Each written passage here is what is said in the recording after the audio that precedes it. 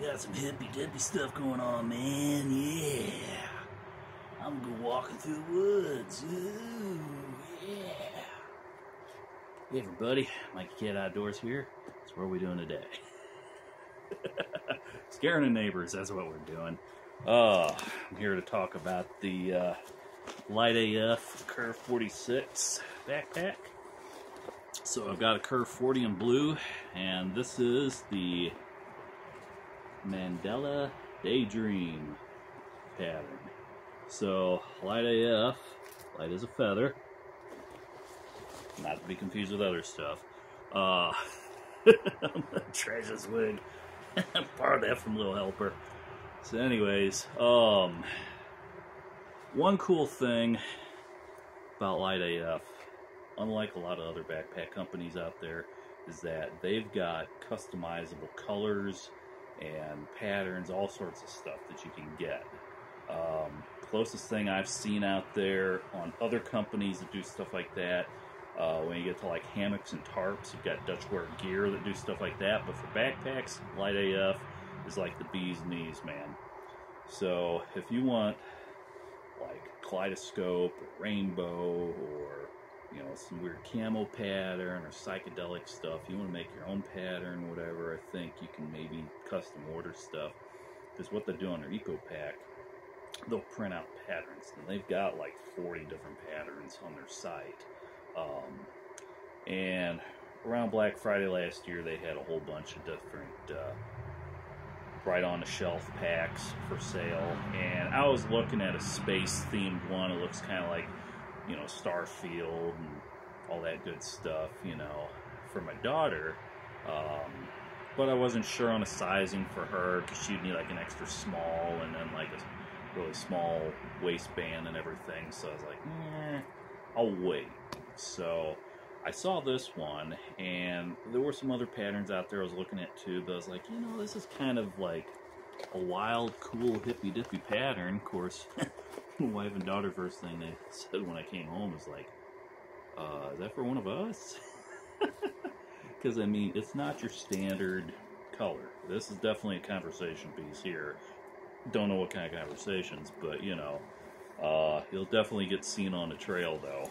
Uh, but it's a really cool pack. Um, they've got the EcoPaks, they've got the ultras. Um, you know, those are the fabrics that the industry's kind of been moving into, away from the Robic and the Dyneema uh, composite fiber fabrics that were kind of around the mainstay you know, five years ago. So now a lot of stuff is moving this eco-friendly way, and so anyways, on these you can get you know something that kind of stands out.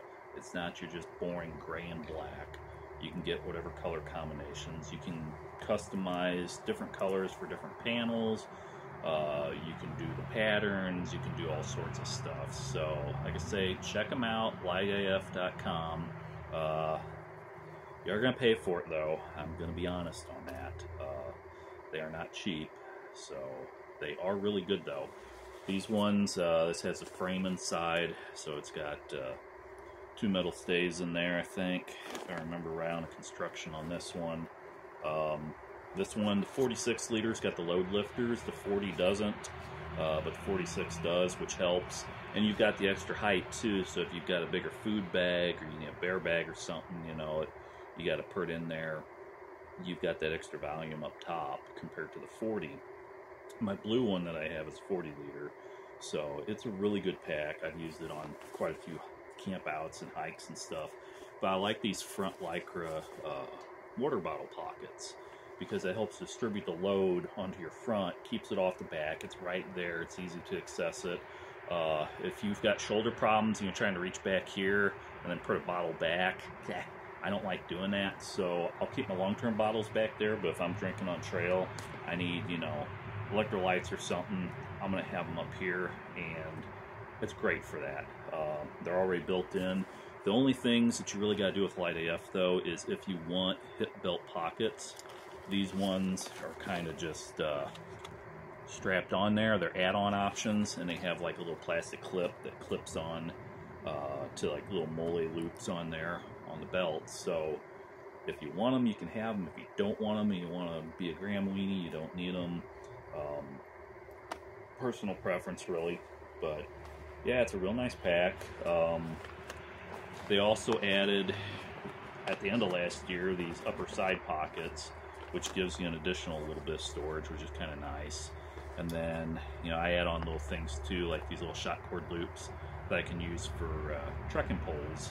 If I'm not using them, I can put them in there for a while or whatnot. Um, I did buy a set of the Spud ones. They're magnetic, but uh, for my trekking poles, for whatever reason, they don't fit the best. Uh, some brands fit better than others, but anyways, this pack kind of takes care of a lot of stuff. So, uh,